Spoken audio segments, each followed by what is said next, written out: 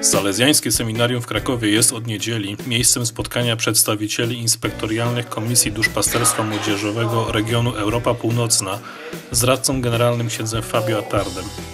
Jest on w zgromadzeniu salezjańskim odpowiedzialny właśnie za duszpasterstwo młodzieżowe. Czterodniowe warsztaty poświęcone są w głównej mierze przyswojeniu treści nowej podstawy programowej, opublikowanej po kapitule generalnej przez Dykasterium do spraw duszpasterstwa młodzieży. So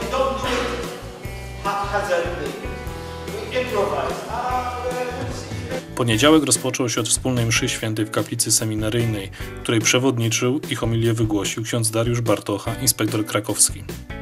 Po śniadaniu uczestnicy zgromadzili się w auli seminaryjnej na pierwszym posiedzeniu wspólnym. W czasie tego spotkania zaprezentowano przedstawicieli z poszczególnych krajów biorących udział w krakowskim spotkaniu, a następnie ksiądz Fabio opowiedział, w jaki sposób doszło do opracowania i opublikowania podstawy programowej.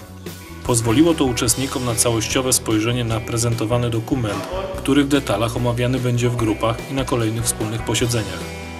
Jak podkreślił ksiądz radca, podstawa programowa nie jest podręcznikiem, z którego w prosty sposób można zaczerpnąć wytyczne do działania, lecz raczej ma się stać źródłem refleksji w inspektoriach do budowania własnych programów działania na najbliższe lata.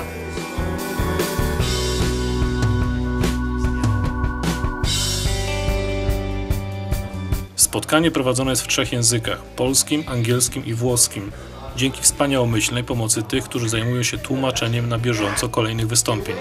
Najliczniejszą grupę stanowią Salezjanie z Polski oraz osoby włączone do Polskiej Komisji Duszpasterstwa Młodzieżowego. W spotkaniu uczestniczą ponadto przedstawiciele z Irlandii, Wielkiej Brytanii, Niemiec, Austrii, Francji, Belgii, Chorwacji, Słowacji, Słowenii, Malty, Ukrainy, Czech oraz Węgier.